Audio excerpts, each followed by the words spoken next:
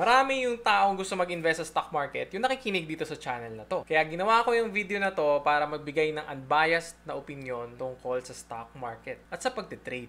Maraming story kasi tayo naririnig na natalo daw siya sa stocks. Meron din namang mga nanalo. Pero ang totoo niyan, marami talagang natatalo sa stock market. No.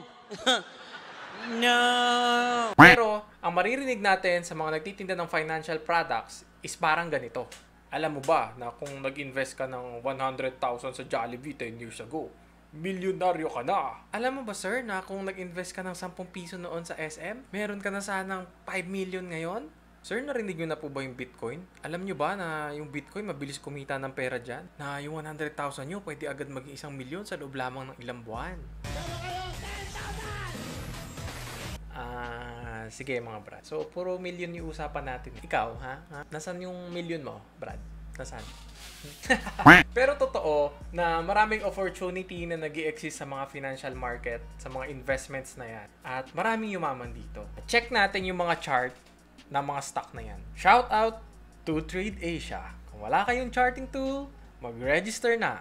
Silipin natin tong URC or yung Universal Robina Corporation. Ayan yung mga nagpo-produce ng mga snacks dito sa Pilipinas, mga chichirya, uh, C2, soft drinks, mga junk food. Kung titignan natin, ito yung tinatawag nating chart.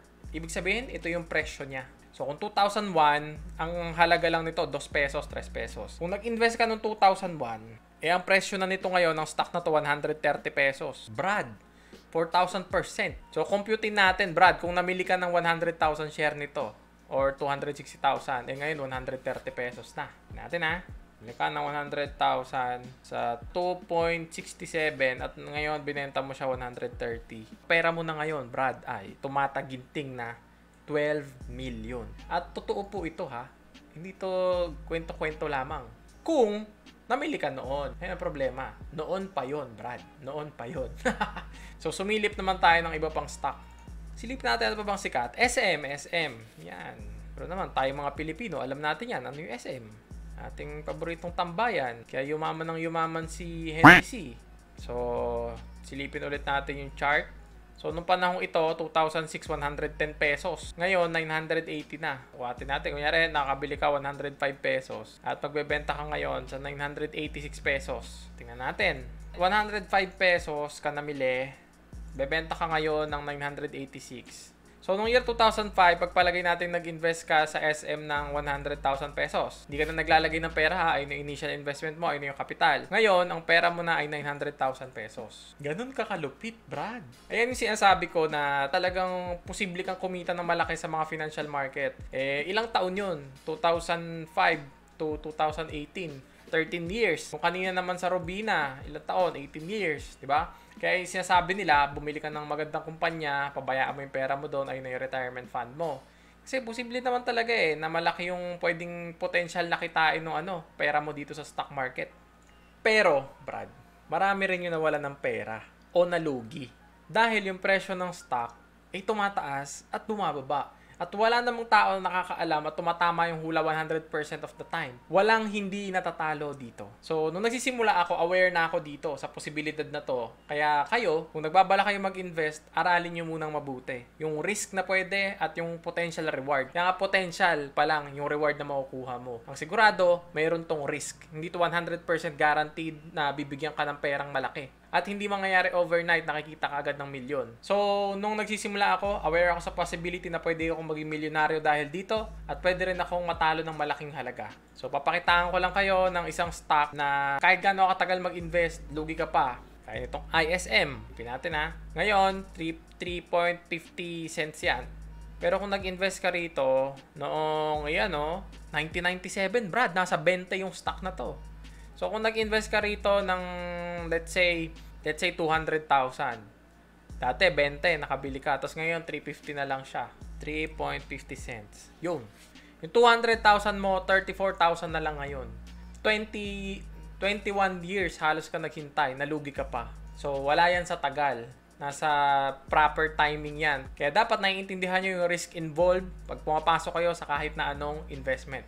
Para hindi kayo masaktan at hindi kayo maloko. Naalala ko yung sobrang hype yung Bitcoin. Yung tipo bang yung kaibigan ko sa Facebook, dati mong kaklase, yung driver nyo, yung katulong nyo, lahat sila alam yung Bitcoin at lahat sila nag-invest na. Kasi sobrang bilis daw ng pera sa Bitcoin. Marami rin akong kaibigan na na-scam dyan sa Bitcoin, na ginawang networking yung Bitcoin. Eh hindi naman networking yon ang Pilipino, normal yan na kapag nakarinig ng opportunity ng pagkakakitaan ng pera, masyadong nai-excite, tuwang-tuwa, na-hype masyado. Na hindi na natin inaaral kung ano man yung mga risk na involved doon, basta bili agad, basta pasok agad sa investment na yon. Total, lahat naman ng kakilala mo, nag-invest na eh. Kaya mentality mo, na kapag nalugi man yon, okay lang sa'yo. Hindi na ganun kasakit.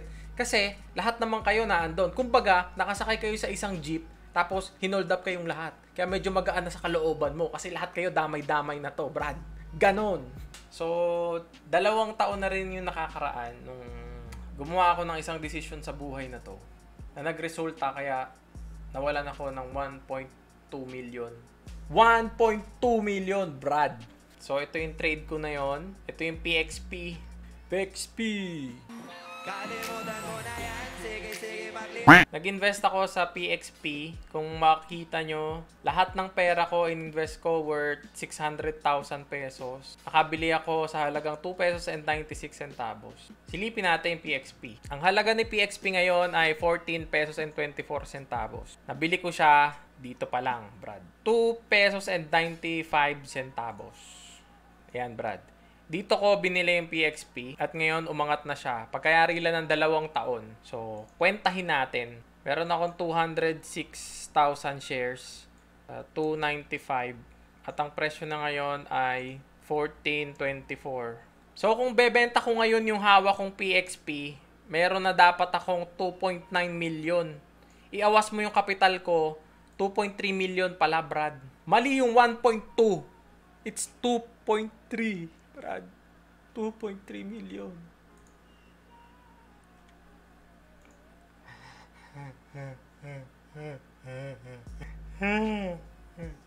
May isa lang tayong problema, Brad. Binenta ko na tong hawak ko na PXP. 59,000 lang yung kinita ko, Brad. Na dapat 2.3 million, Brad. 2.3 million.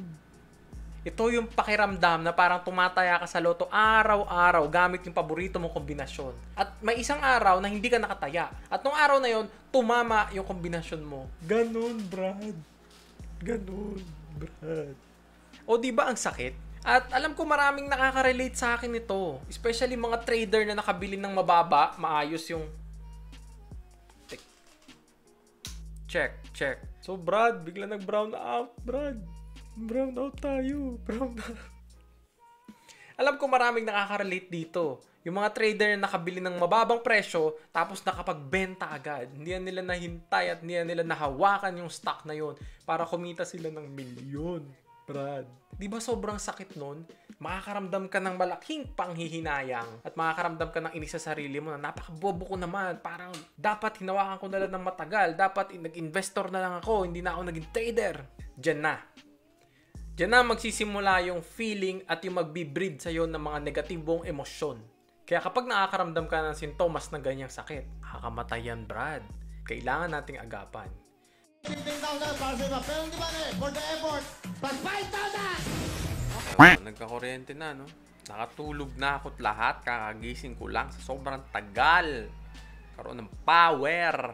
Gaya nga nasabi ko, sa stocks, hindi tayo nanghuhula kung ano yung bibilin, Brad yung rason natin sa pagbili at pagbenta ng stock, dapat naiintindihan natin. Dahil merong tamang proseso na kailangan pagdaanan. Kung gusto mong tumagal sa larangan na ito. So, tingnan natin dito sa chart kung paano ba natin magagawa yon. Uh, ulit-ulit pwede tayong kumita, no? Lumipat-lipat ng stock. So, nasa sa inyo. Gusto nyo bumili ng stock, tapos kalimutan nyo na. Maghintay ng panahon, tsaka mapatunayan nyo kung wala talaga sa tagal yan. Nasa inyo yon kung gusto nyo mag investor Pero, again, dapat bago kayo mag-invest sa kahit na anong investment tools at anumang financial market, sana naiintindihan nyo ang lahat ng risk na involved hindi lamang yung potential reward. Isang strategy na ituturo ko sa inyo dahil mahalaga syempre na meron tayong strategy para ulit-ulit nating magagawa yon. So, dito sa PXP, kung makikita nyo, yan, di ba nakapasok tayo 296 pala, brad. 296, yan, dito sa area na to. So, pwede nating strategy na gawin, kapag nakakita ka ng, yan, sa chart niya, na nagkaroon ng breakout, sa pinakamataas na point within the range, doon ka bibili.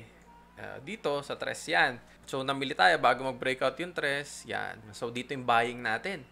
Yan yung entry signal natin. Pagdagdag tayo ng isang indicator, para simple lang. MA, moving average. Gawin natin tong 20 at gawin natin kulay pula. Yan. So, ang pwede nating strategy na gawin is kapag umangat dyan sa pinakamataas na point sa resistance, tawag doon breakout.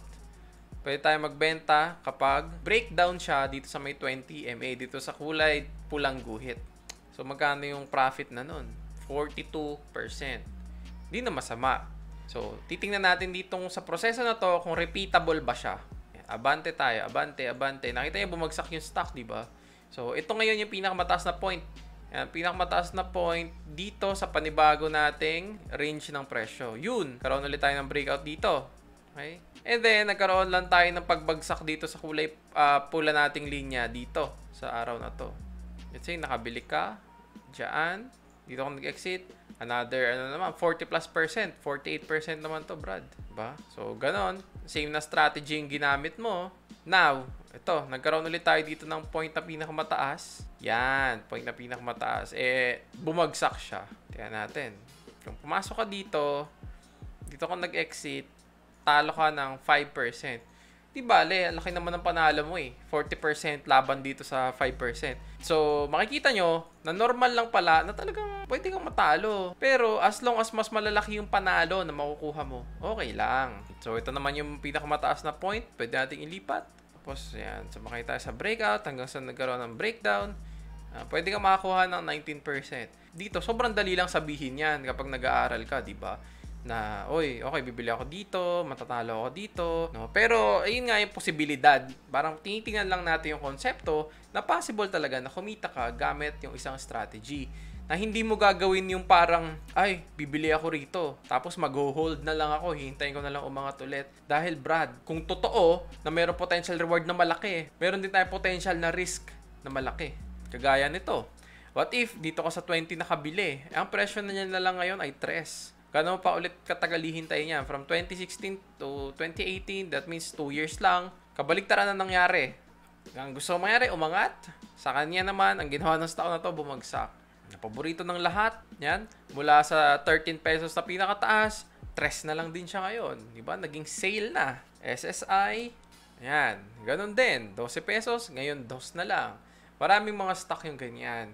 Kaya, ang masasabi ko sa inyo, bago kayo mag-invest, uh, mapabaguhan ka man, o nagtitrade ka na, or investor ka na, kahit gusto mong hawakan ng matagal yung posisyon, okay lang yon Kanya-kanya tayo ng strategy. Pero sana nga, meron kang strategy na ginagamit para hindi lang bara-bara yung pagpasok mo at paglagay ng pera dito, para hindi maubos yung pera mo at hindi ka maloko ng kung sino-sino. Gaya ng palagi kong sinasabi sa channel na to, gusto mong kumita ng pera at maging profitable, wala sa kahit na sinong tao yung sekreto para mangyari yon. Lahat na yon ay nasa sayo. Kaya good luck sa iyong pag-aaral at sana'y marami ka rin natutunan sa video na to. Maraming salamat sa iyong oras. God bless. Maraming salamat nga pala sa nagbigay sa akin ng t-shirt na to. Ganda, di ba? down for you, down, down for you, down, down. Kiki, you know me, from the side.